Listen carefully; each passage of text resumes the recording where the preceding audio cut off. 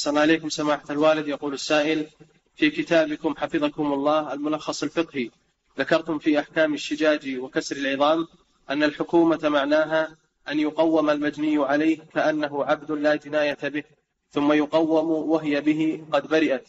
فما نقص من القيمة فللمجني عليه مثل نسبته من الدية. يقول لم أفهم هذه العبارة فما المراد بها؟ خلف الله إذا لم تفهمها خلف الله.